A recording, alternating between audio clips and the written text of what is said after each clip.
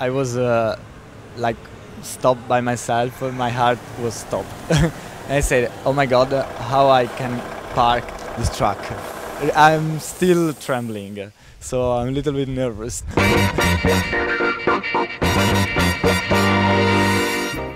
It's gala night outside the San Remo Casino on the Italian Riviera. 23 year old Ambrogio Adani is excited. He's been hired to work on a trial basis as a casino valet. What he doesn't know is that the whole setup is a prank.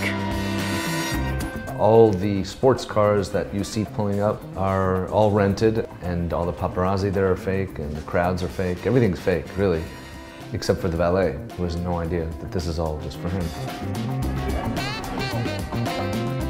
You know, it's a pretty simple idea. It's just we wanted to see Valet's reaction when he was forced to park a huge truck.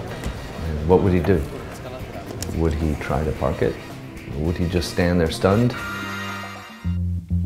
Oh, it was uh, pretty amazing because uh, I was really surprised. I thought there was uh, an error, that the driver of the truck uh, was there for some reason that I didn't know. But after uh, that, the, the other cars started horning uh, and everybody were yelling.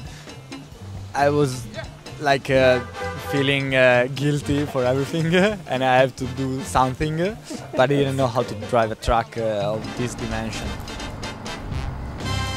Through the video, Volvo Trucks is spotlighting the new I-Shift dual clutch gearbox with the tagline, Under the hood, it's a sports car. This refers to the fact that the dual clutch technology is an adaptation from sport and race car engineering. After like the 10 times the, that somebody told me that it was a joke, I, I realized that I'm dumb.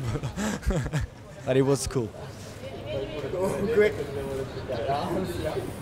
È stato bravo comunque, grazie.